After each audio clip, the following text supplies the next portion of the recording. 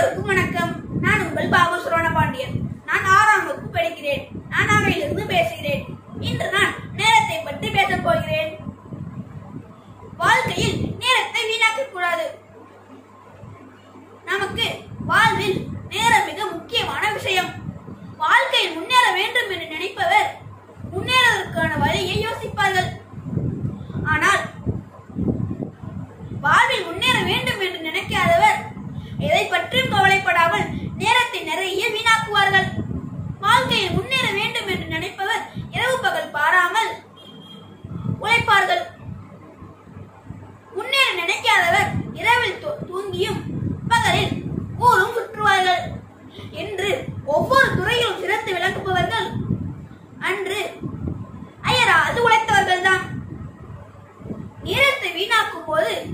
கடிகாரத்தை பார் ஓடுவது முள் அல்ல ஒரு வாழ்க்கை என்று விவேகானந்தர் சொல்லியிருக்கிறார்.